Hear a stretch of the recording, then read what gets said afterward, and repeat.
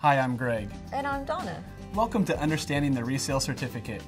A resale certificate is a document used to support that a sales transaction was for resale and not subject to tax. A resale certificate is not a seller's permit or a business license. If you're a seller, you will accept resale certificates from purchasers. If you're a purchaser, you will provide a resale certificate to the seller. Donna, can you explain what sellers need to do when they accept resale certificates? Sure, Greg. If you're the seller, you need to obtain a resale certificate from each purchaser who plans to resell the merchandise to document that the sale is exempt from tax. For example, if you manufacture bicycles and you sell those bicycles to a bike store who will resell them, you need to obtain a valid resale certificate from the purchaser to document that the sale is for resale.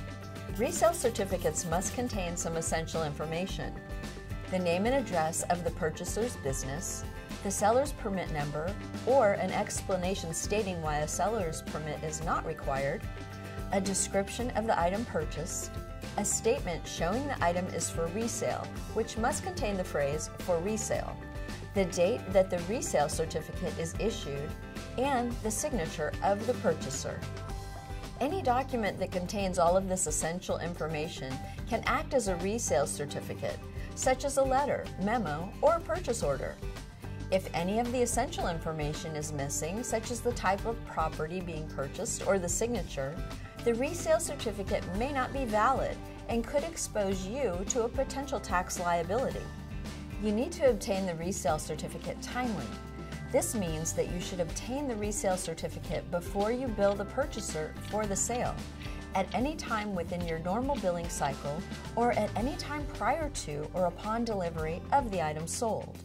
And you must keep the resale certificate in your records for at least four years, since you may be asked to provide it to document your sale was exempt. Resale certificates must also be accepted in good faith. This means that you should only accept a resale certificate from a person who is in the business of reselling the items they are purchasing for resale. Generally, a seller's permit is required for a purchaser to be able to use a resale certificate. You can easily verify that a seller's permit number is valid by looking on our website, or you can call our customer service center for assistance. Resale certificates are valid until they are revoked in writing. If you choose to obtain new certificates from your customers each year, you must keep the old ones on file for at least four years. A new or reissued certificate does not cover past transactions. Wow, thanks, Donna. That was a lot of great information for sellers. No problem, Greg. Why don't you explain what purchasers need to do? Great idea. As a purchaser, if you purchase inventory intended for resale, you need to provide a resale certificate to your vendor so that you're not charged tax on the transaction. For your convenience, the California Department of Tax and Fee Administration provides you a sample certificate, Form CDTFA 230. It's available in our Forms and Publications section on our website and is easily printable for your business needs. For example, if you own a bike store, you need to give a resale certificate to the supplier of the bikes you purchase for your store's inventory. Your resale certificate must contain all the essential information and you must provide it timely. If you make repeat purchases, you don't have to provide an individual resale certificate for each transaction. Instead, you can provide one certificate that contains a general description of the products you intend to purchase for resale. Keep in mind, there are some instances in which you can't use a resale certificate. You can't use your resale certificate to purchase tax-free items that are intended for your personal use. For example, let's say you issue a resale certificate to a warehouse club to purchase inventory for your business. You can't use that resale certificate to purchase a television for use in your home without paying tax.